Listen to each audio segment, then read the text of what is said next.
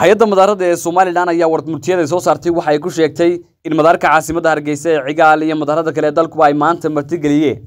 Duulimaadyadii joogtada ahaa sidoo kale waxa ay sheegtay inaan wax diyaarad ah oo laga leeyahay waddamo kale oo hawada lagu celiyey aysan jirin ama imanayeyba dalka. Sidoo kale waxa ay sheegtay inay socdaan shirar lagaga shirayo arrimaha hawada ee somalilan. Warmurtiyeedka ayaa u dhignaa sida tan warmurtiyeed.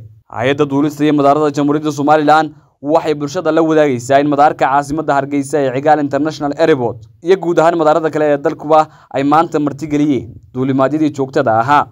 Waxaa kaloo hay'adda duulista iyo madaarada somalilan ay dadweynaha ogeysiinaysa inay socdaan shirar muhiim ah oo ku saabsan arrimaha hawada ee jamhuuriyadda somalilan.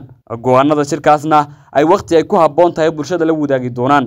Ugu dambeyn ma jirto wax diyaarada oo laga leeyahay tayland oo xamuul ah oo maanta imanaysay somalilan ama soo kici tantay oo hawada lagu celiyey ayaa lagu yidhi warmurtiyeed ka soo baxay hay'adda duulista iyo madaarada somalilan. Warmurtiyeedkan ayaa wuxuu yimi kadib markii hay'adda dowladda soomaaliya u qaabilsan socdaalka ee loo soo gaabiyo s c a a ay sheegtay in maanta oo khamiisa oo taarikhdu tahay sideed tobanka bishii koowaad laba kun afar iyo labaatan ay hawada dib uga celisay.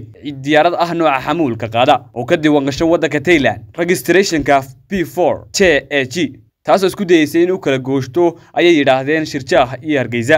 Sidoo kale soomaaliya ayaa waxay sheegtay inay diyaaraddani ku guuldaraysatay inay bixiso macluumaadka xamuulka ay waday. Sababtaa darteed ayay soomaaliya sheegtay inay dib ugu celisay diyaaraddaasi ayna u diiday inay gasho hawada balse somalilan ayaa beenisay inay jirtay wax diyaarada oo haba yaraatay uga soo socday dalka tayland waa cartan cabdalle wararkii warbixinaha san t v hargeysa